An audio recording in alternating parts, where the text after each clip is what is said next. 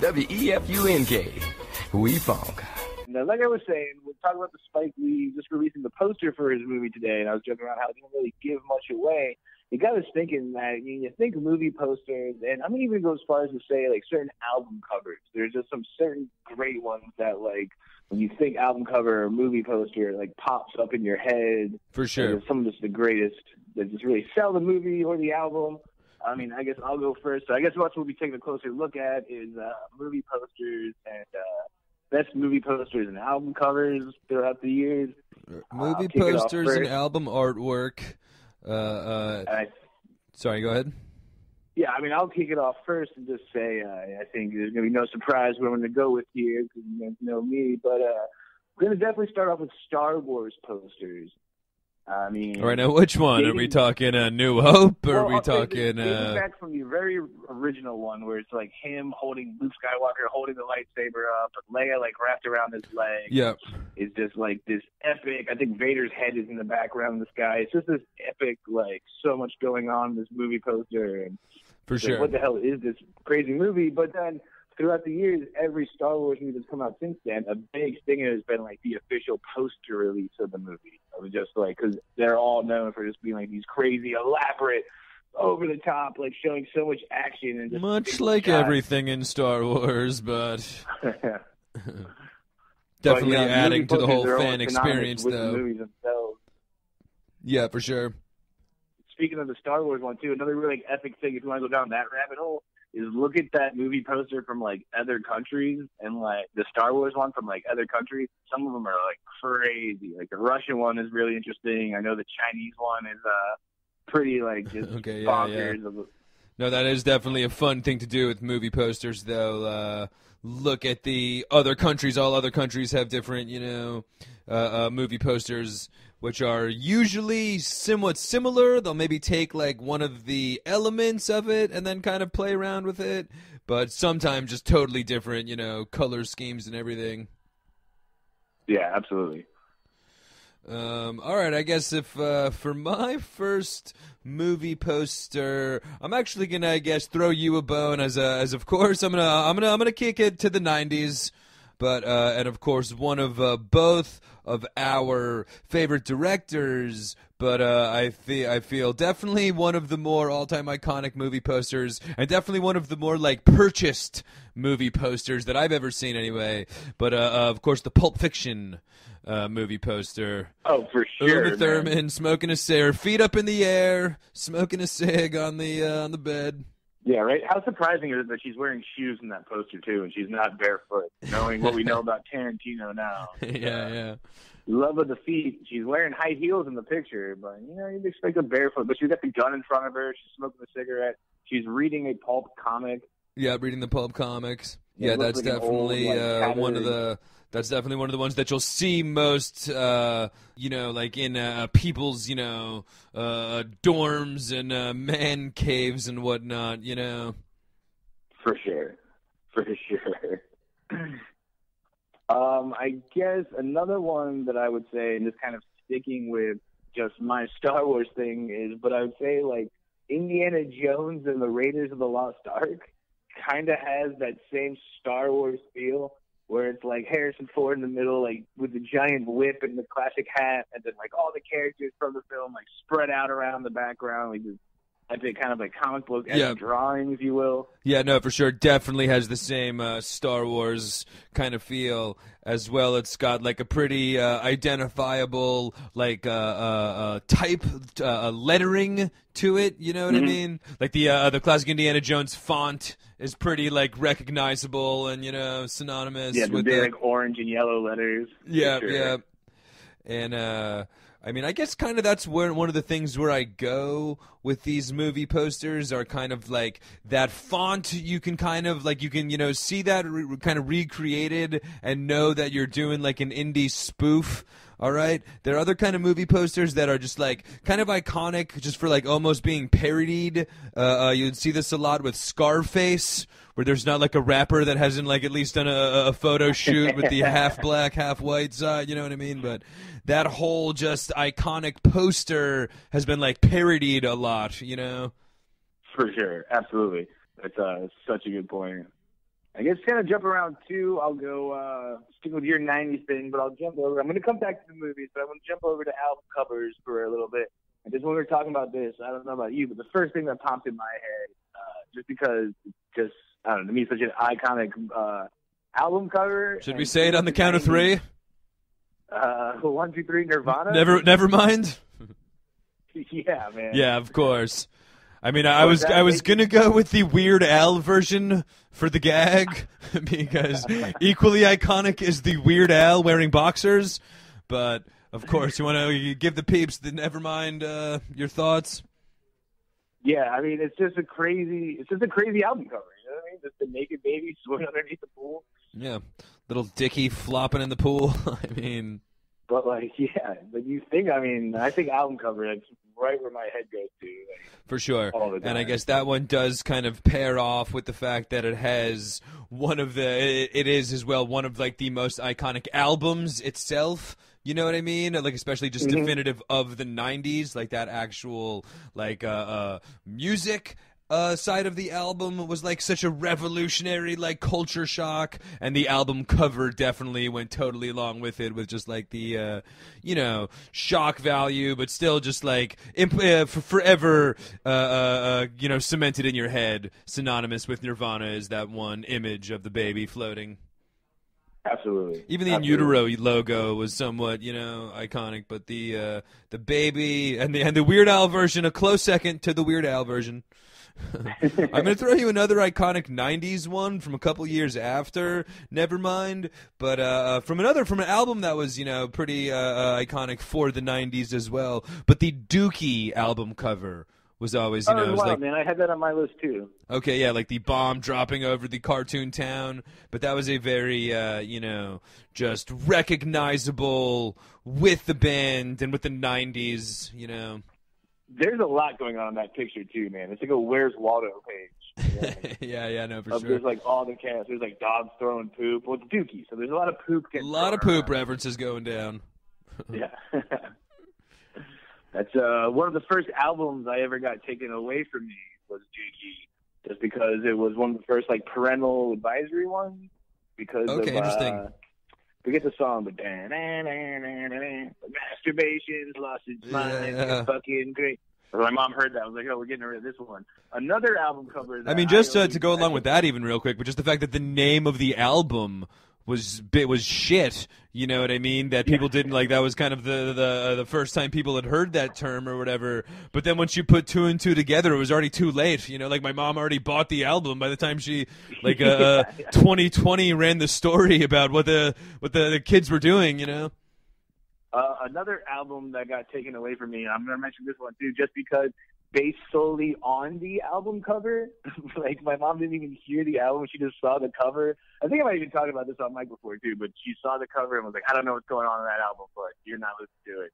Would be the uh, second DMX album, "Flesh of My Flesh, Blood of My Blood."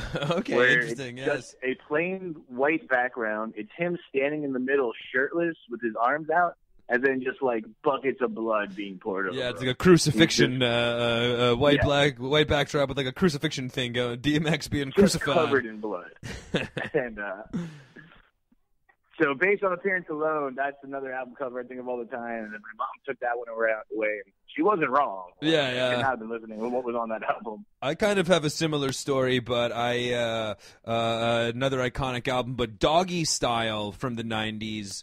But I ended up having to buy like a, a copy of that off of my friend or something, or I traded my friend's CD. But I ended up getting a copy of my friend's Doggystyle. But he had to, in order to pass by his mom, he needed to like take a magic a, a- a black marker and like edit himself and like draw things on and like scribble things out. But like he like artistic influenced the Doggystyle album cover himself to like make it pass mustard by his mom. And then what i did i actually flipped it inside out. And if you remember there was like a sick picture of like it was like a mugshot style picture of snoop Yeah, that I rocked as the because the original was like him sniffing a dog's ass. It was uh, it was there's weed leaves on there. It was uh, your mom. Yeah, uh, uh, your, your your mom wouldn't like it for an 11 year old boy or whatever we were. yeah.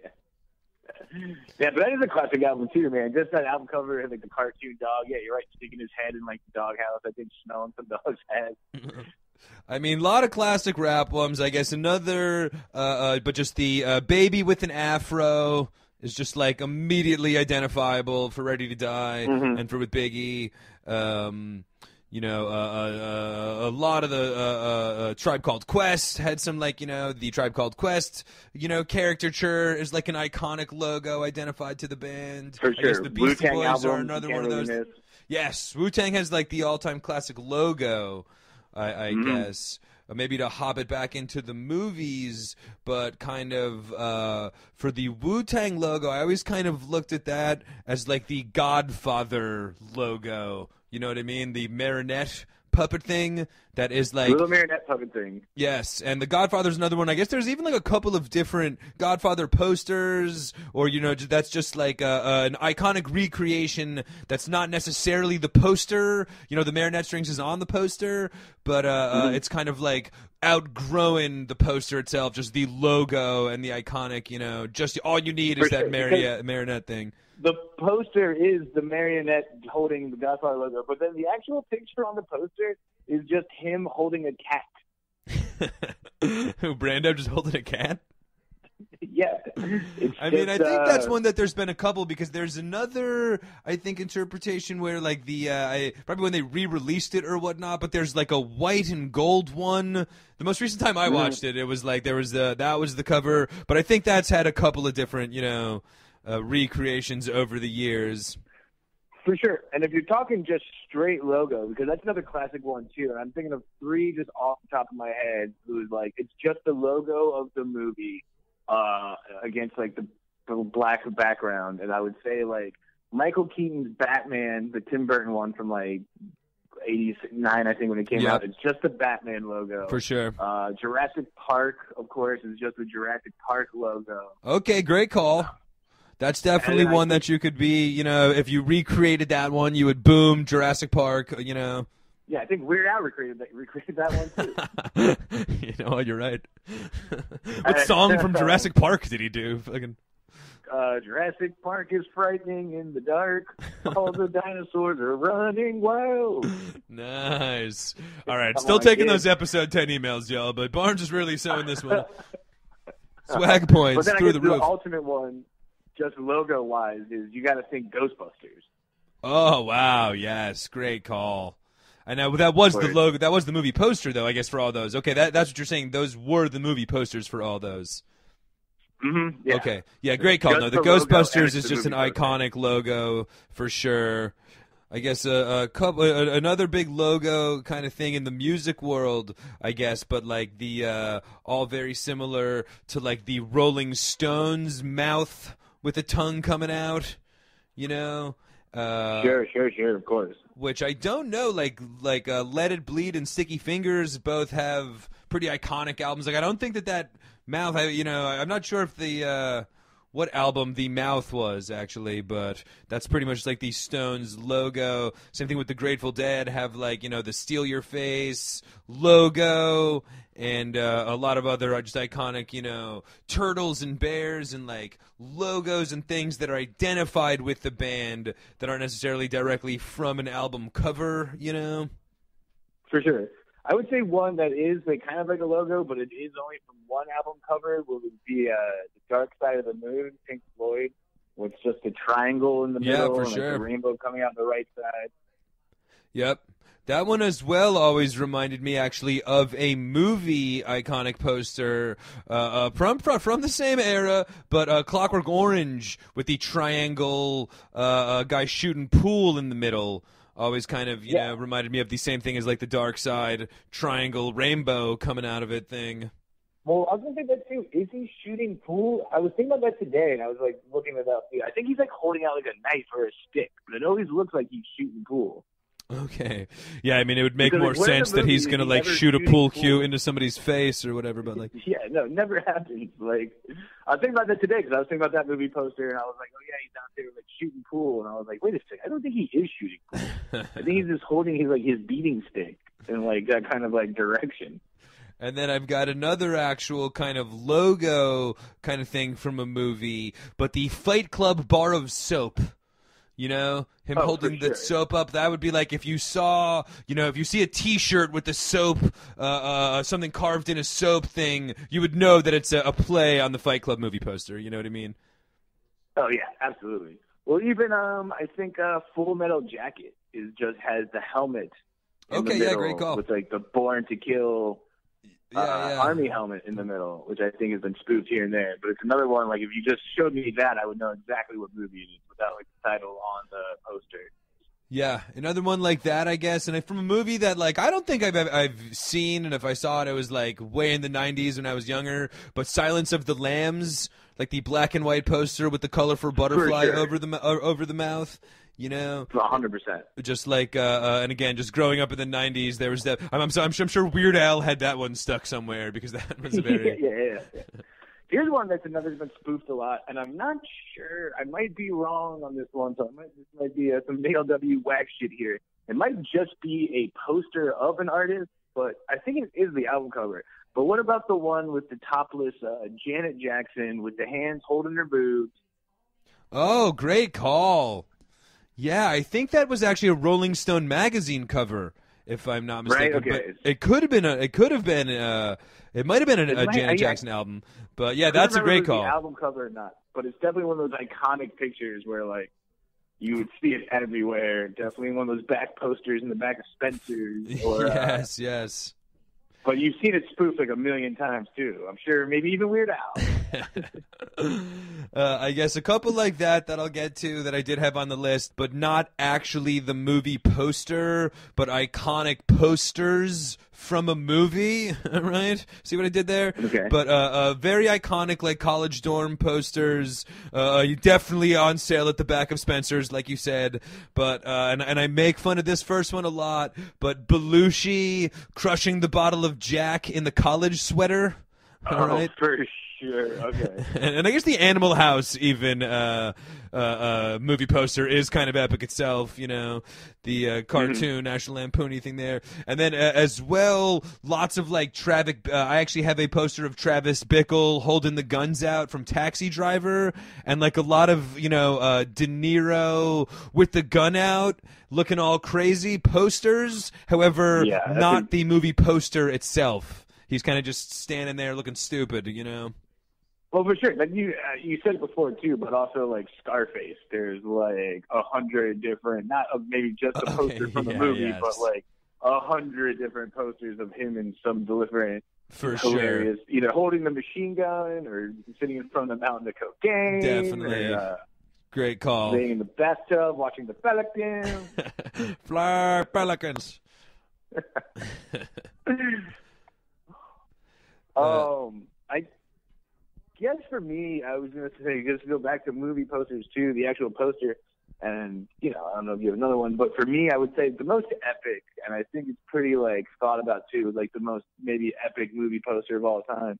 But it would have to be uh, the Jaws movie poster of Yep. the, the lady swimming on top of the water and like the giant shark coming up like about to eat her. Yep, I had it on the list for sure.